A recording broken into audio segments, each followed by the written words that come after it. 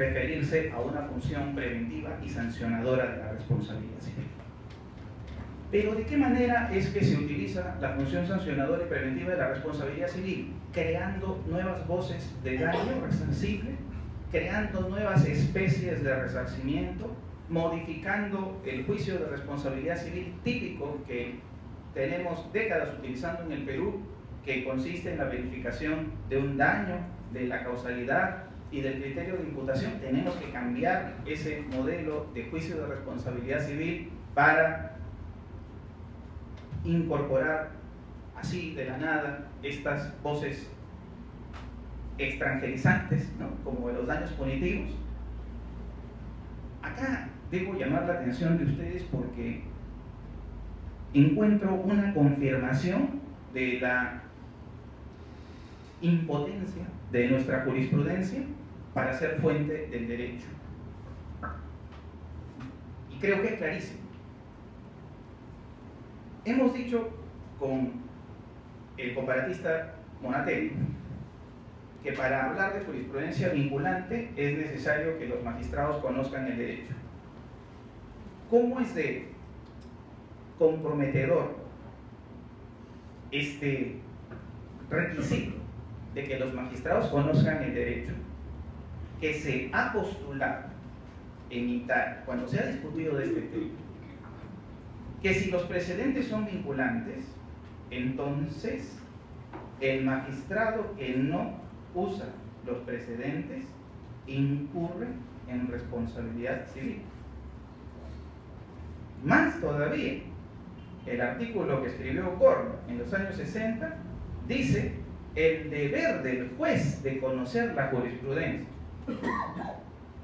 Si vamos a asumir, adoptar el modelo de la jurisprudencia vinculante, prepárense todos los magistrados, porque los magistrados van a poder ser responsabilizados si no conocen la jurisprudencia o si conociéndola no la aplican. ¿Estamos preparados para ello? Preguntémonos una vez más. Y lo voy a vincular con el pleno jurisdicción. En el Perú existen cuatro grandes sentencias, cuatro casos conocidos por todos los que practicamos responsabilidad civil, donde se han utilizado medidas resarcitorias de castigo y se han utilizado sin necesidad de crear o hablar de punitive damages. O sea, son cuatro casos en los cuales los jueces han establecido el resarcimiento en atención al grado de culpabilidad, a la reincidencia, a la entidad del daño, a aspectos que no tienen que ver en absoluto con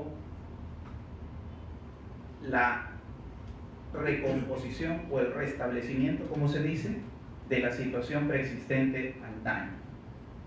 La responsabilidad civil resarce, la responsabilidad civil previene, la responsabilidad civil castiga.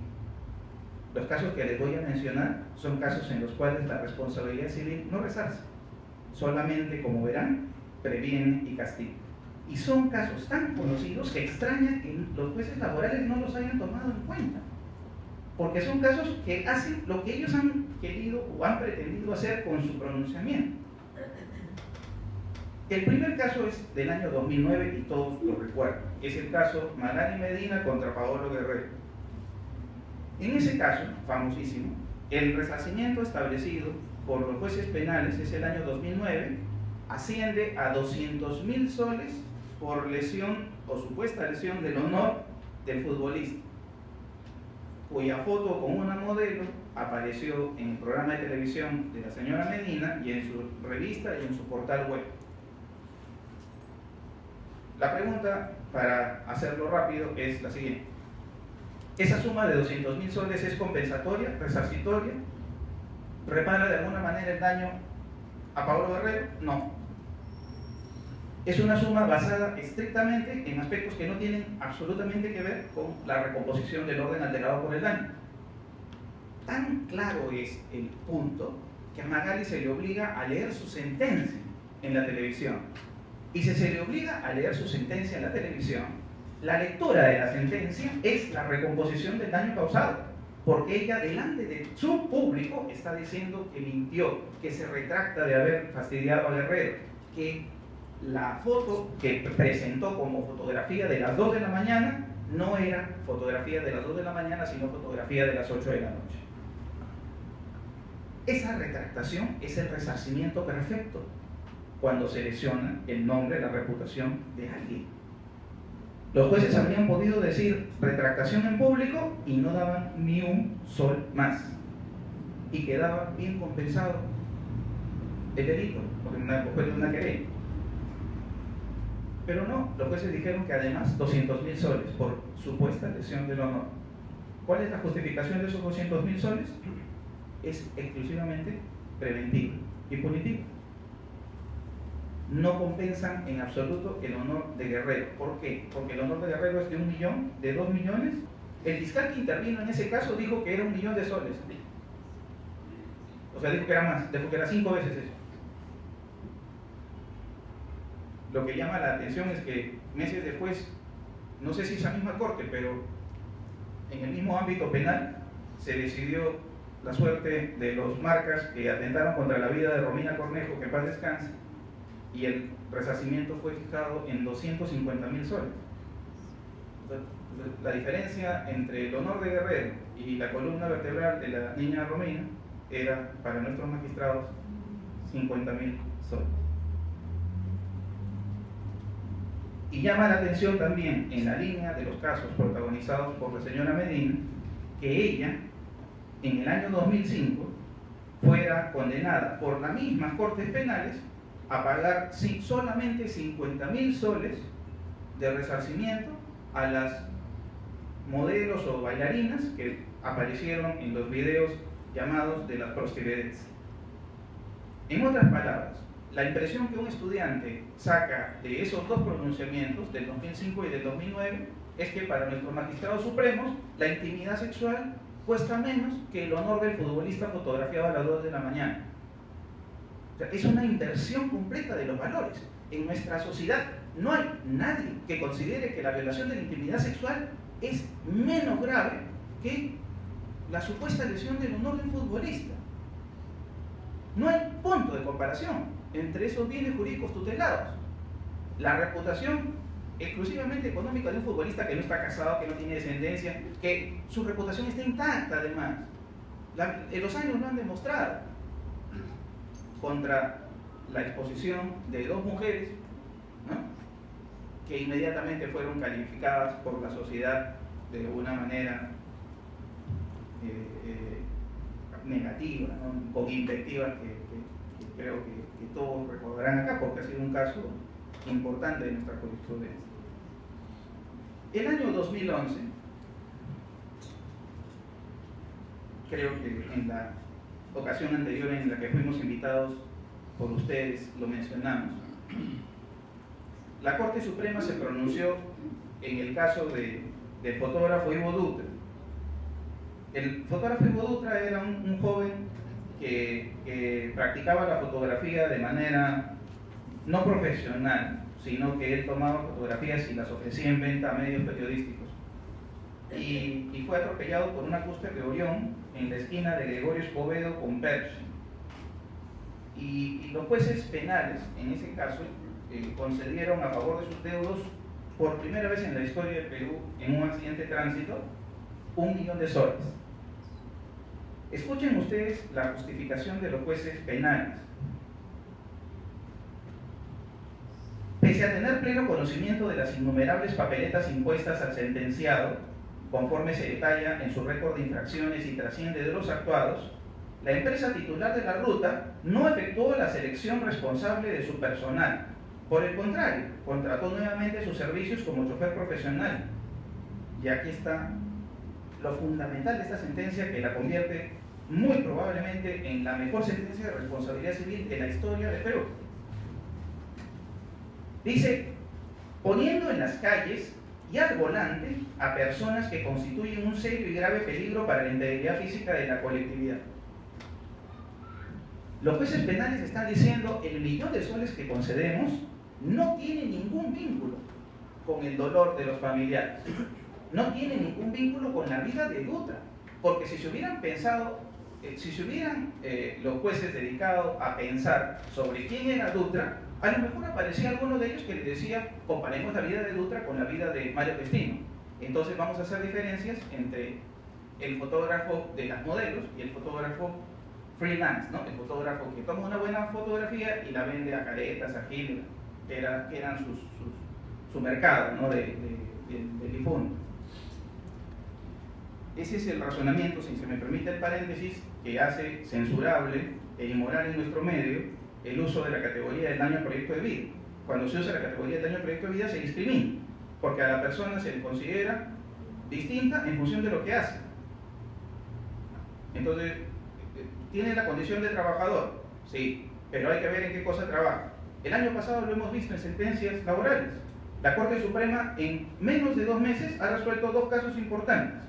En uno, un obrero se cae y queda cuadripléjico, solamente puede mover la cabeza.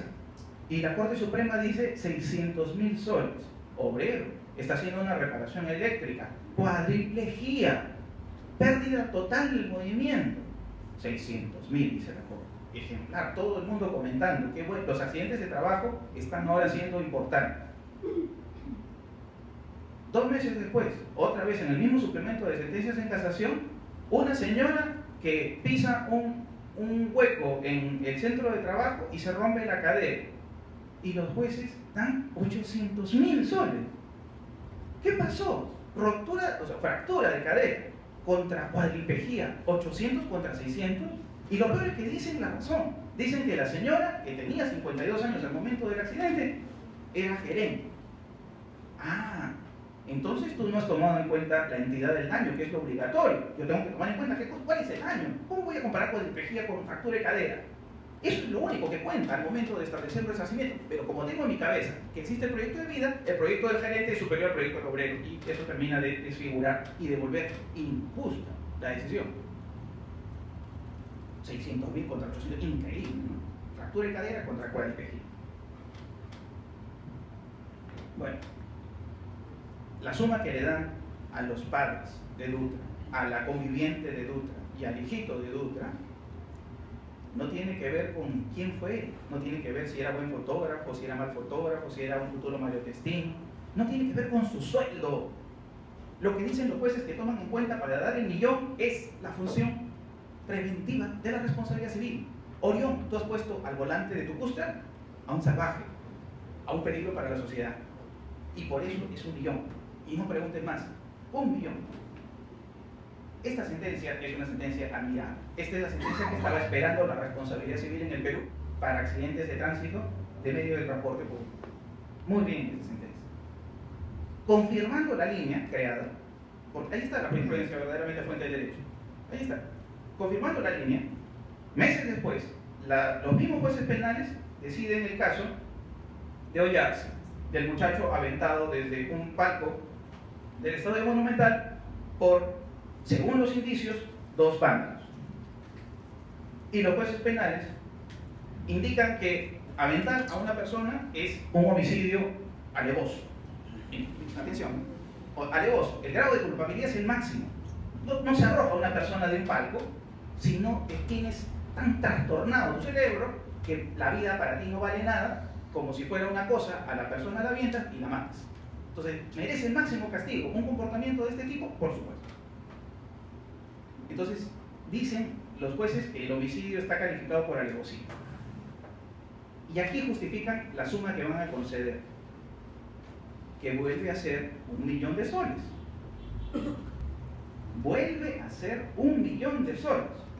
Y dicen que la razón por la que se concede un millón de soles es porque es innegable que se ha generado en los familiares de Ollarse un influjo negativo que repercute de modo radical en el ámbito afectivo y sentimental. O sea, les dan a los padres de hollarse por daño moral puro, sufrimiento, dolor, padecimiento por la pérdida de un ser querido, un millón de soles.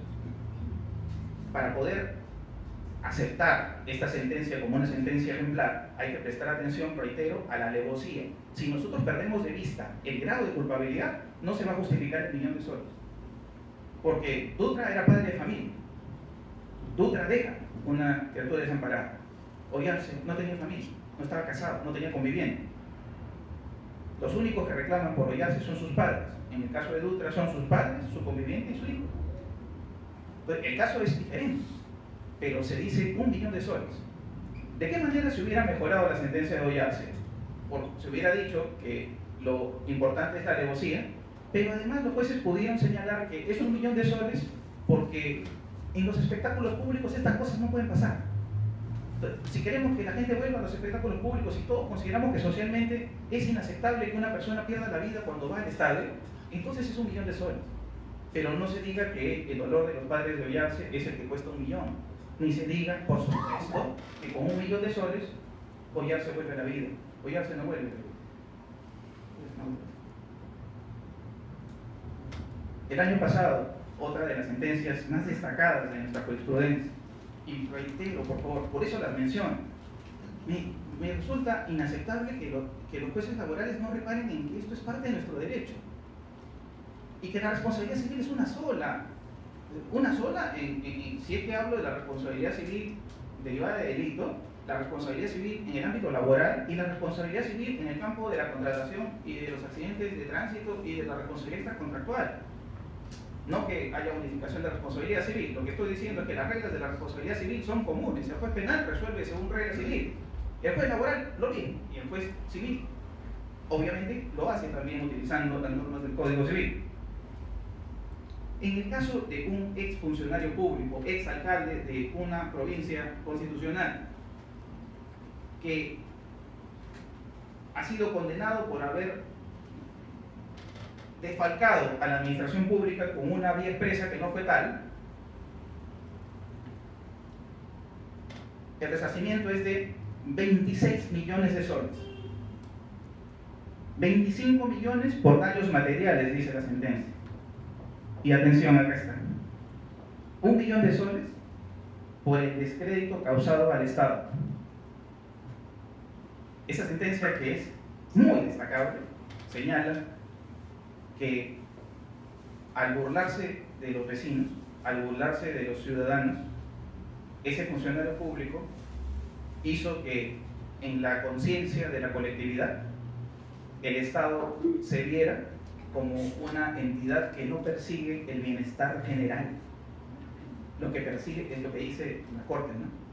Tú eras responsable de haber presentado ante los ojos de la colectividad al Estado como un ente que se burla de ellos, como un ente que no, que no tiene ningún interés en tu desarrollo, en que te vaya, en, que las cosas te vayan bien, en que tu vida sea mejor.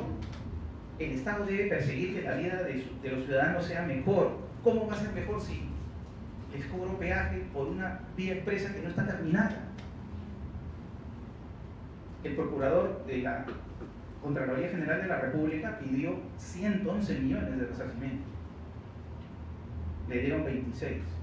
Esta sentencia también es destacable porque los magistrados han aplicado una suma altísima, a pesar de que es conocido que el responsable no tiene ni un solo bien a su nombre, no tiene cuentas, no tiene patrimonio.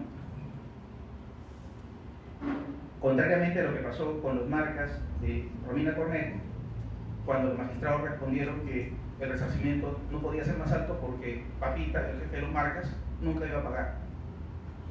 Eso no interesa, no importa si no paga. Lo que cuenta es el daño, lo que cuenta es el efecto, la consecuencia, no el bolsillo del dañador. Eso es algo que tiene que eliminarse, erradicarse. Pensar que se resuelven los casos en función de el deep pocket, ¿no? La posición económica del que causa el daño. Amigos, cuatro sentencias destacables donde se utilizan damages. damages. Lo que nuestros jueces laborales ahora llaman daños punitivos. No tienen ningún vínculo esas sumas con la reparación, no tienen ningún vínculo con resarcir, no tienen ningún vínculo con reparar, no tienen vínculo alguno con la recomposición del orden alterado por el evento dañoso. ¿Qué cosas son esas sumas? Esas sumas son sumas que se aplican estrictamente en cumplimiento de las funciones sancionadora y preventiva de la responsabilidad.